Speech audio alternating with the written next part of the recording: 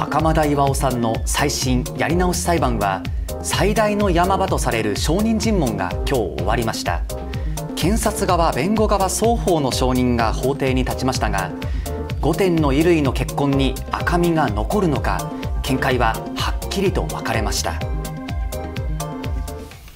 現在静岡地裁で袴田巌さんの再審公判が続いています。ちょうど10年前の3月27日に静岡地裁が再審開始決定を出しました。今日静岡市の街頭で再審法の改正を訴えたのは村山弘明元裁判官です。ちょうど10年前の3月27日静岡地裁の裁判官として袴田さんの再審開始と釈放を認めました。長いですね。長すぎる。10年経ってまだ再審公判の判決出てないんですからね。外でその普通の市民生活されていたっていうことなんですけど。ただ結局まだ身分的には死刑囚なんですよね。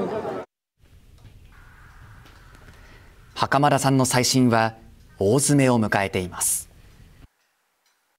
3日連続の証人尋問も今日が最終日。今日は検察と弁護側の証人合わせて5人全員が法廷に集まり裁判官らの質問に回答します。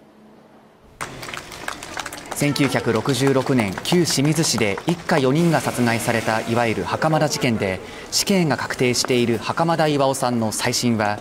おとといから証人尋問に入りました。最大の争点は事件発生から1年2ヶ月後に現場の味噌タンクから発見され袴田さんの有罪の決め手の一つとなった5点の衣類の血痕に赤みが残るのか黒く変化するのかです。迎えた今日の証人尋問。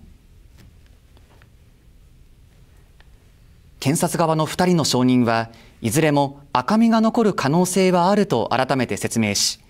弁護団の実験は味噌タンク内の酸素量などを考慮せず結論付けていると指摘。一方弁護団の証人は裁判官からの質問に対しても血痕は黒くなると主張。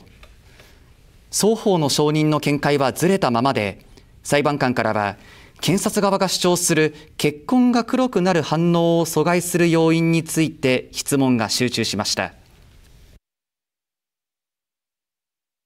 警察庁の方では反論するんですね。だけどやっぱりなんか苦し紛れに言ってるっていう感じでした。これまでの長い間の裁判で本当に皆様の応援があったらばこそここまで来ました。結婚には赤みが残らないということは疑いの余地のない程度にもう立証されたと、えー、もう揺るがしようのない状況にまで立証ができたということは証明できたと。まあ、あの1年以上味噌漬けされた衣服に付着した血痕に赤みが残る可能性があるという抽象的な可能性論を展開されていてやはりそれは仮説であるとそれを実証実験通してお示しいただきたいということを、まあ、裁判で申し上げましたがあの今もそのように考えております。